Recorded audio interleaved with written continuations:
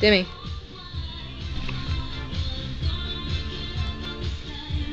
Come here.